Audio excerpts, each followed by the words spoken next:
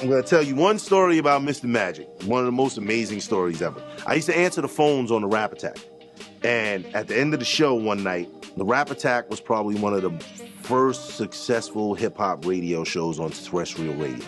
And Mr. Magic was like probably the guy that was like groundbreaking as far as hip hop radio goes. And I used to answer the phones on it.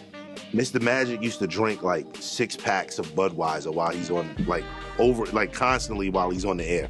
And one night we get off the station and he's having a conversation with someone and he's like, "Yo, Craig, go get my car out the parking lot." I was like, "Yo, I can't drive." I had to have been like 14. It's like I can't drive. He's not listening to me.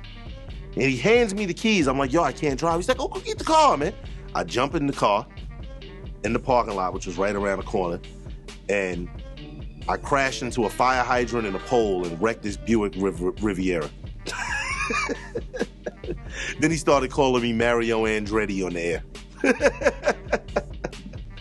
Marley, I know you're gonna laugh because you remember that story too.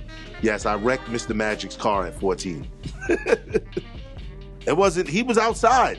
We was coming down from the station and he was waiting for me to come around the corner. He heard the crash. He came around the corner and he actually laughed. I guess he had insurance, so he was good. But he was he thought it was funny.